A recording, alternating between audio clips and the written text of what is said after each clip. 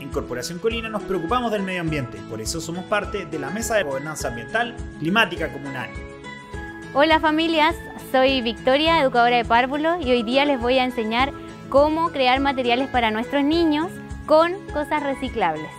Los materiales a utilizar son cartón, perrito de ropa, palito de helado, papel entretenido, alguna pelotita que tengan en su hogar, pegamento en barra.